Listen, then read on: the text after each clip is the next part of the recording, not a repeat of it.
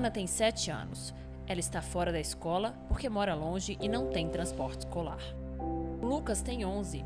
Ele também está fora da escola. Trabalha com o pai na lavoura.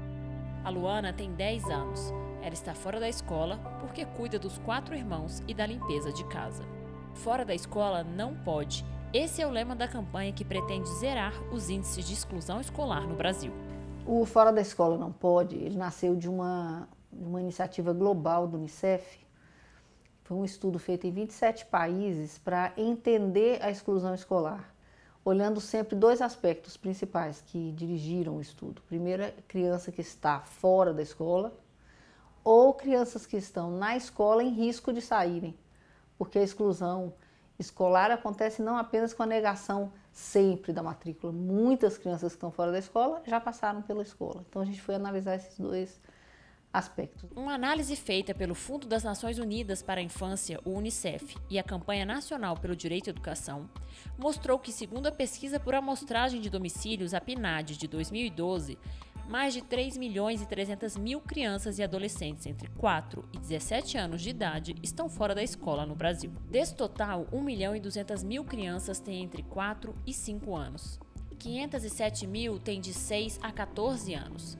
E mais de 1 milhão e 600 mil crianças têm entre 15 e 17 anos.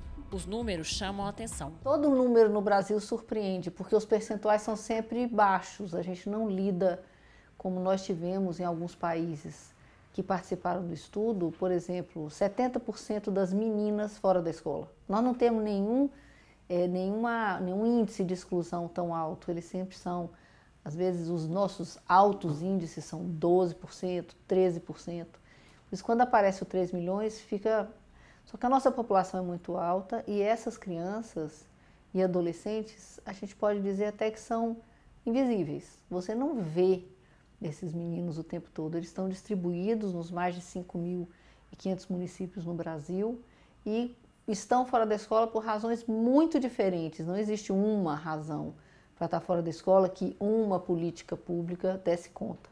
E esse aqui é o desafio. 3 milhões é um número enorme, não é aceitável e não pode. O desafio do país é grande. Os indicadores mostram que as crianças e adolescentes mais vulneráveis à exclusão escolar são os negros e os índios, os com deficiência, os que vivem na zona rural, no semiárido, na Amazônia e na periferia dos grandes centros urbanos. A pesquisa relatou ainda outros fatores.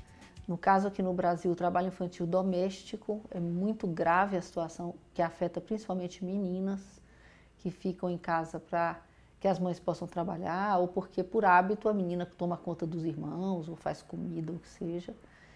É, a questão da criança com deficiência isso é um dos maiores motivos de exclusão hoje que a gente tem. São as diversas deficiências e a dificuldade, tanto da família quanto da escola, de fazer essa ponte. Adolescentes é o grupo mais afetado pela exclusão, especialmente de 15 a 17 anos, é muito grave. Então você tem, por isso que eu disse que são diversas as razões. Cada agrupamento tem aquele aspecto que dificulta mais. E cada região do Brasil também. Para que o país possa garantir às crianças e adolescentes o direito de aprender, é necessário voltar a atenção para cada menino e menina que está fora da escola.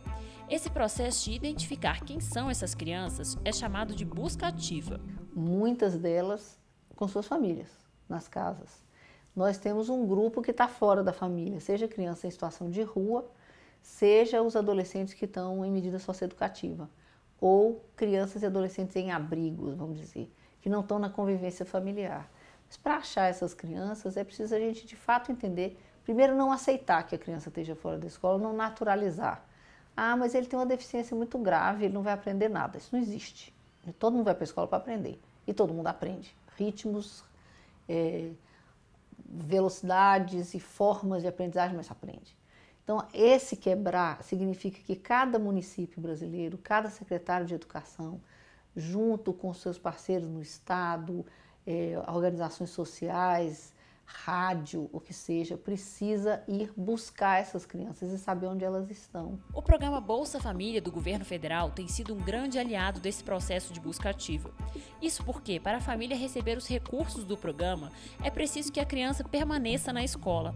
De acordo com o Ministério da Educação, cerca de 40 mil pessoas espalhadas por todo o Brasil são responsáveis por registrar a frequência escolar sendo de baixa renda, que a, a, a, família que é apoiada pelo Bolsa Família, certamente ele ainda é mais vulnerável, porque além, às vezes, da distância ou da deficiência ou do que seja, você ainda tem a questão da renda que é, torna a vida mais difícil, né? Então, o que a gente precisa hoje é assim, você conhece uma criança que está fora da escola? Vamos ver como é que você encaminha isso, porque não é aceitável. A campanha se preocupa também com as crianças que estão na escola. É preciso cuidar para que essas crianças permaneçam e aprendam. Esses são fatores que contribuem para a universalização da educação. É um ano de ir para campo, é um ano de buscar essas crianças. E a gente está é, tá complementando fora da escola não pode com mais duas informações, que duas informações não, duas chamadas. Uma é o fora da escola não pode. O outro é na escola sem aprender também não pode. E a qualidade da educação é garantia de universalização.